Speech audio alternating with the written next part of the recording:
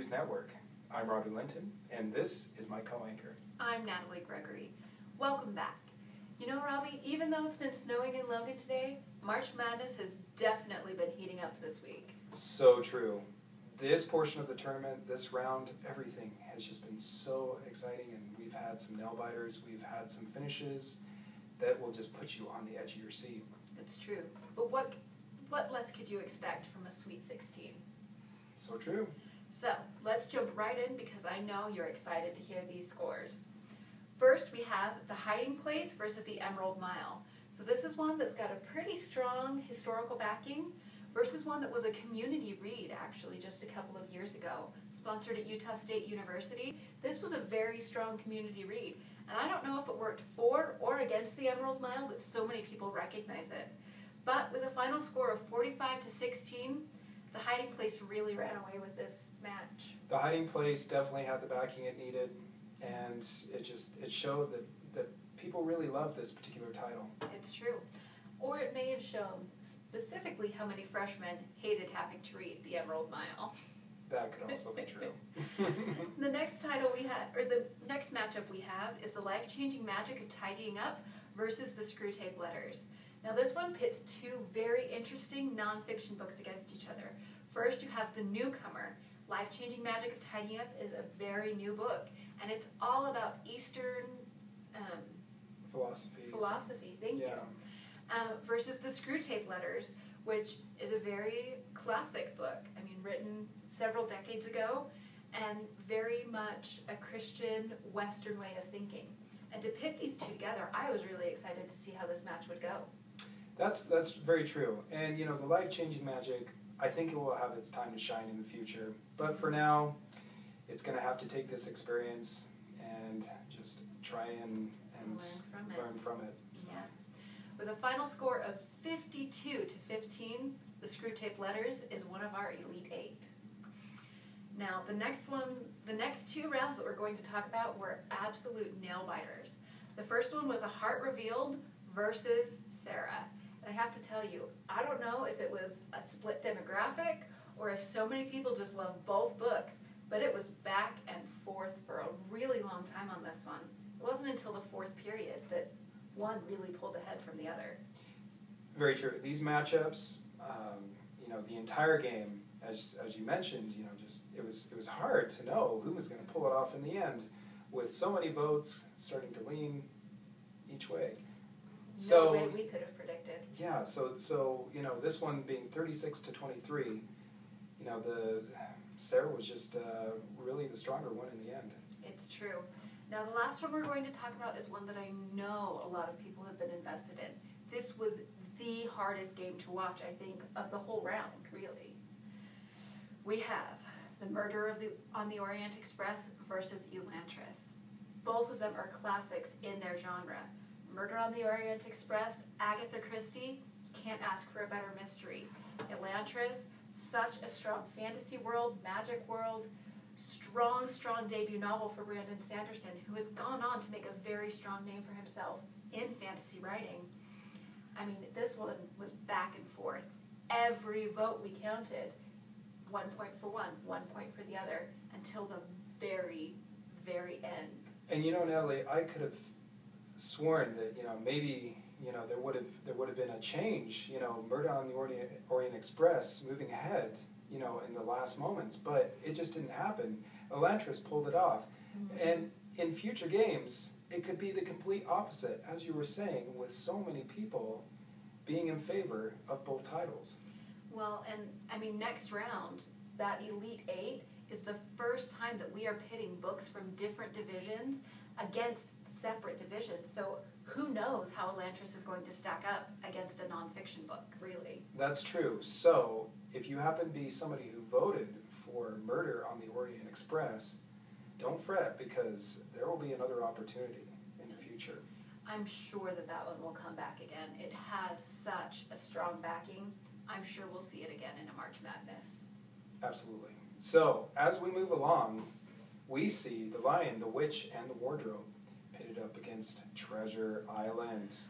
Ooh. Now, this matchup, You know, I would say that uh, many of the people who were voting had a prediction that the Lion, the Witch, and the Wardrobe was gonna was gonna make it in the end, and they did, fifty-seven to 13 Mhm. Both of these titles are well loved, but the powerhouse of the matchup was definitely the Lion, the Witch, and the Wardrobe. Well, and once again, this is one of the highest scoring games of the entire round.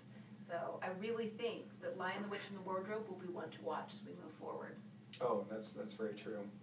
So as we move ahead to our next matchup, we have the Heir versus Michael Vey Storm of Lightning. Mm-hmm. Now I know many of you are probably very familiar with Michael Vey's Storm of Lightning, which is why we have a score of 38 to 23. So all of you that backed backed that particular title, it did pull it off. And so the heir, you, you know, it's it's gonna have another time as well, as long as, you know, it, it puts in another good effort in the future. You know, I definitely think that The Crown might show up next year, which is the sequel to The Heir coming out in just a couple of months. Very true. So we have The Bravest Princess versus A World Without Heroes.